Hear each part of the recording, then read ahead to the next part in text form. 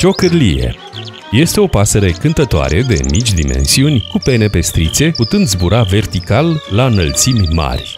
Legendele populare afirmă că atât ciocârlia cât și cârtița nu sunt altceva decât întrupările unor fete care s-au îndrăgostit și au vrut să se mărite cu soarele, fiind astfel blestemate să trăiască departe de el.